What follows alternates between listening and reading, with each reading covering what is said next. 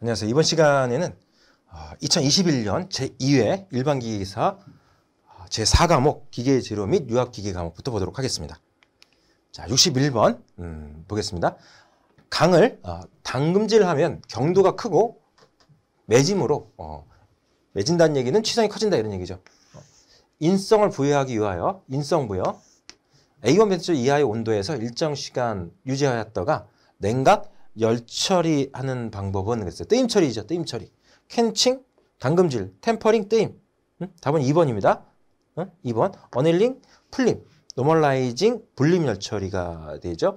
담금질을 함으로써 경도나 강도가 증가해지고 템퍼링을 함으로써 인성 증가 아, 그리고 어닐링을 해주면 연화가 됩니다. 연성 증가가 되고요. 노멀라이징 같은 경우는 어, 조직의 표준화, 미세화, 균일화를 시키는 열 처리 작업이 해당이 되죠. 답은 2번 템퍼링 뜨임 처리입니다. 다음 62번을 보겠습니다. 열 경화성 수지나 충정 강화 수지 등에 사용되는 것으로 내열성, 내마모성, 내식성이 필요한 열관 금형재료, 즉 금형재료, 금형재료로 적당한 것은 그랬어요. 이렇게 STC는 탄소 공구강, 어? 탄소 공구강, STS는 합금 공구강이 되죠. STD는 어, 다이스강이라는 표현을 쓰기도 하고 합금강이라는 표현을 쓰기도 합니다. STS 합금강, 합금강이라는 표현을 쓰는데 이 다이스강, STD가 금형 재료에 사용되고 있습니다. 답은 3번이 되겠고 SM45C는 그 기계구조용 탄소강, SM은 기계 구조용 탄소강을 표현하는 것이죠. 어, 탄소 함량이 평균 40% 정도 된다는 얘기고요. 이렇게 해서 아, 답은 3번으로 봅니다. 학금 공구강으로서 금형재료로 사용되고 있는 재료명, 재료명이 STD가 됩니다. 아. 다음 63번을 봅니다. 탄소강에 함유된 인의 영향을 옳게 설명한 것은 그랬어요. 경도를 감소시킨다. 경도 증가고요. 경도를 증가시킵니다. 결정립을 미세화시키는 게 아니라 이제 조대화, 어, 조대화시키고 있고요. 연신율은 경도 증가하니까 감소하겠죠. 어, 상온 취성의 원인이 됩니다. 맞습니다.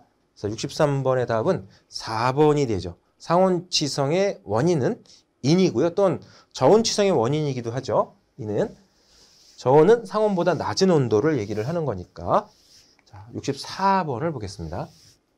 구리판, 알루미늄판 등 기타 연성 판재를 가압 성형하여 변형 능력을 시험하는 시험법 그랬어요.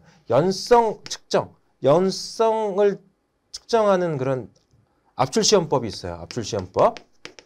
이 압출 시험법에는 크게 두 가지가 있습니다. 에릭센 시험법이 있고 그다음 커핑 시험법이 있어요. 커핑 시험법. 지금은 답이 1번이 됩니다. 커핑 시험법이 되고요. 마멸 시험법.